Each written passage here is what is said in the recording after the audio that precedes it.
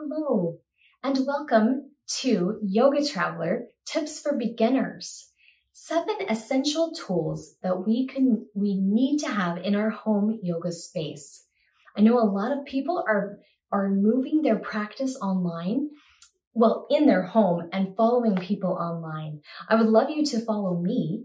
Head to www.yogatraveler.online You'll find lots of great programs, including a beginner yoga program where I explain these props in detail and give you some hints that you can use to start a very viable and practical home yoga practice. So step one, get a yoga mat. Here as my yoga mat that I have for my home space. Now I just do yoga in my home space on carpet. That's the floor I have right now. Maybe someday I'd love to change that, but it's what I've got.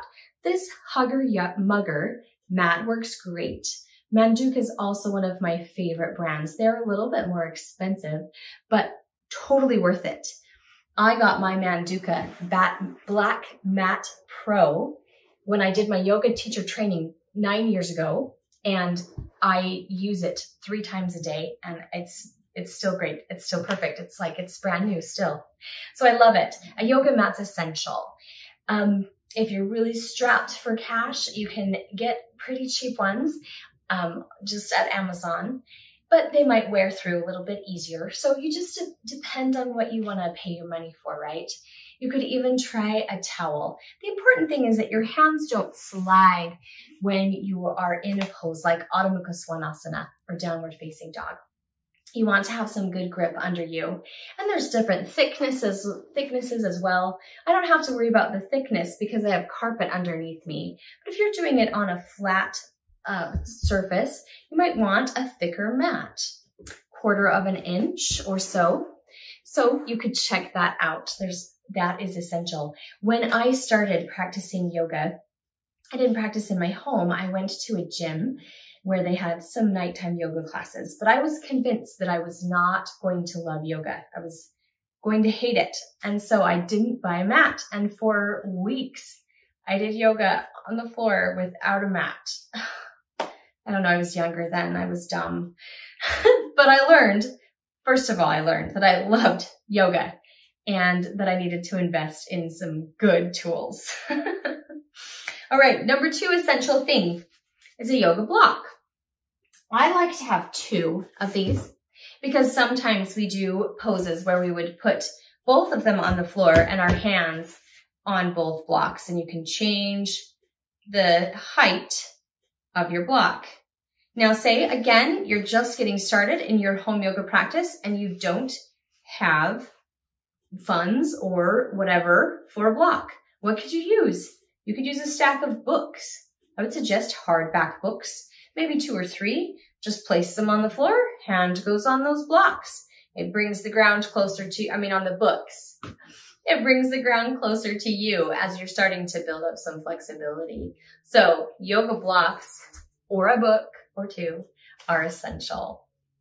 Number three, a strap. So this can easily be replaced with a towel or a long sock, like your husband's dress socks, although he may not want you using it for yoga. But straps are great when we're trying to do poses, perhaps behind our back. Say my hands can't reach. So I use the strap and I can still feel the integration of my shoulder and tricep. This is my shoulder. This is my tricep. you could also place your strap around your feet if you're doing forward folding kinds of poses. So you can't reach my toes, I can use the strap. Very essential and easily replaced with a towel if you don't want to buy one yourself. Number four would be a blanket. I also really love bolsters, but these do tend to be a little bit more pricey. So a blanket can serve in its place. We can use a blanket if we have knee issues. Place the blanket on the ground, knees go on the blanket when you are doing um, all fours, hands and knees, or deep lunging yoga poses.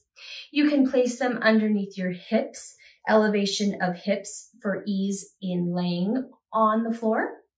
You could use them, say you are an expecting mother, you've got a baby there. You can turn on your side in Shavasana and lay against the blanket.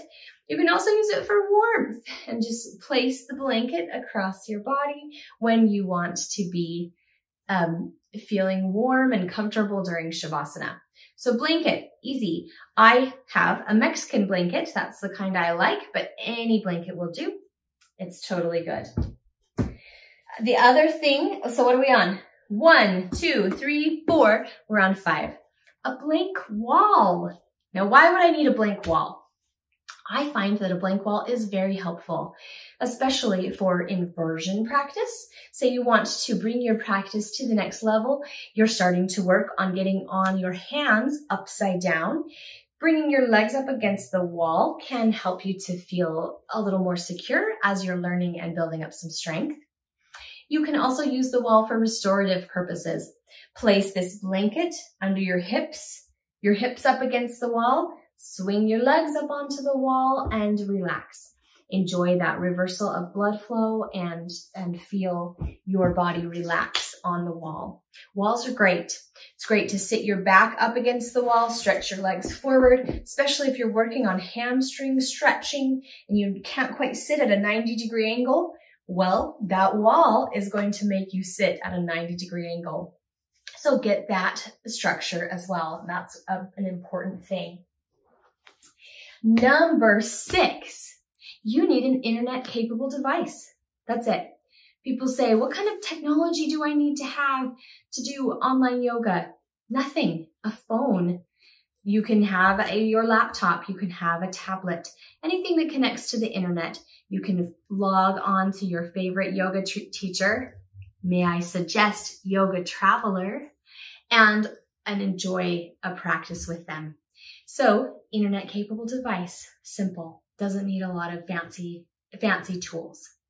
And step number seven or last tip, whatever you want to say, number seven, give yourself at least 15 to 20 minutes every day if you could. I say every day because I'm a yoga teacher. Of course, building into a longer practice will give you more strength and more flexibility over time. But sometimes that's not practical when we're starting out. So don't feel bad if you say, well, I only have 15 minutes to do yoga. Great.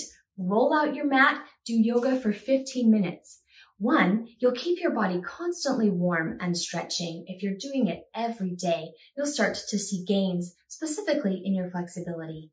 Two, you'll learn that yoga can be, can take its shape in many different forms. We can do a long strengthening stretching class.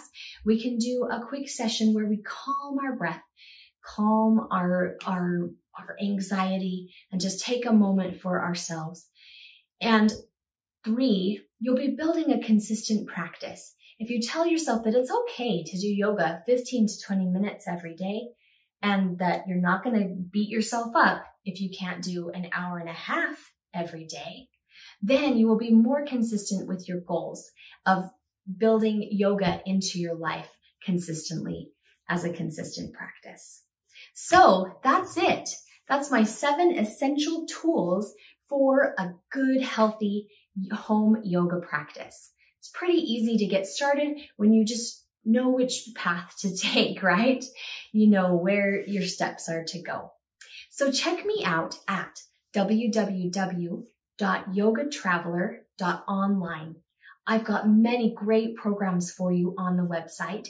One specifically for beginners walks you through the props that you need it brought, walks you through modifications of yoga poses and to learn how to build yoga into your everyday life. Do it safely from a qualified yoga instructor.